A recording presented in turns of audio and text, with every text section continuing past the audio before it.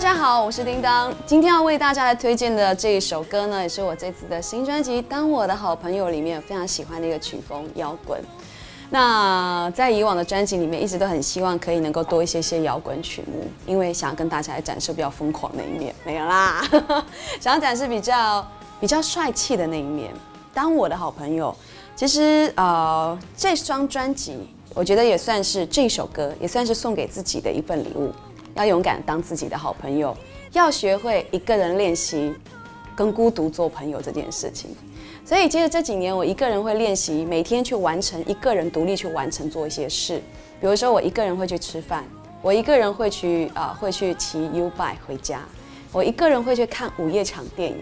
虽然很多人说哇，一个人好孤单，好可怜，会有点点想要跟人说话，但是没有。可是。我觉得我们需要练习。你可以跟朋友的时候在一起的时候，你跟他分享很多你的生活很多的想法。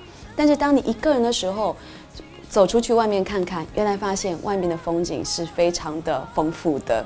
比如说我自己很爱跑去啊，就是东区那边，然后还有啊星光三月那边可以说吗？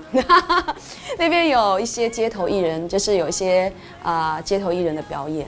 所以有时候在工作假期，然后跑去那边看看，哎，看看别人的表演，我觉得那也是一个对自己来说是一个学习，然后也是充电，然后觉得看到他们的表演的时候，也会禁不住要把自己的掌声啊，然后也会给他们钱这样子。我觉得就是一个学习，然后一种感受，然后也会坐在街头，然后放空，观察人来人往。我觉得坐在你面前，有时候当你自己是静止的，但身边的人是动态，然后走过的时候。哎，你可能会让自己会回想到可能曾经的某一个片段，因为有可能路过在你面前路过，有的人是情侣，可能是很恩爱的，然后也非常的 sweet，然后两个人手牵手，然后可能就是啊非常非常有亲亲啊那种，然后就是很甜蜜的。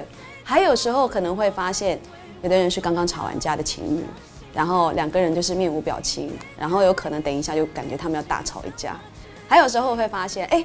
有一个女生，然后背着双肩背，然后她有听的音乐，然后面无表情的在我面前走过。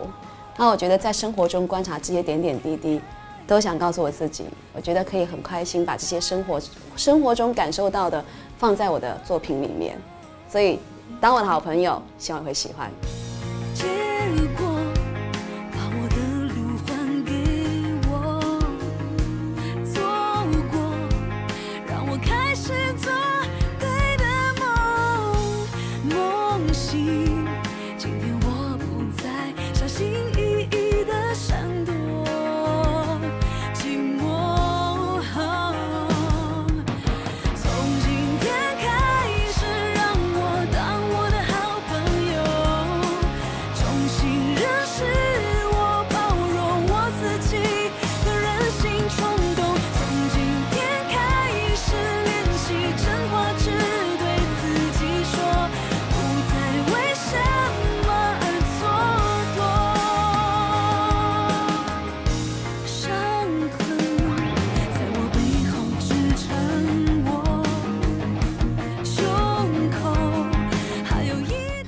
大家好，我是叮当。想要听我的最新专辑《当我的好朋友》，就在银河网络电台，给你最酷的好音乐。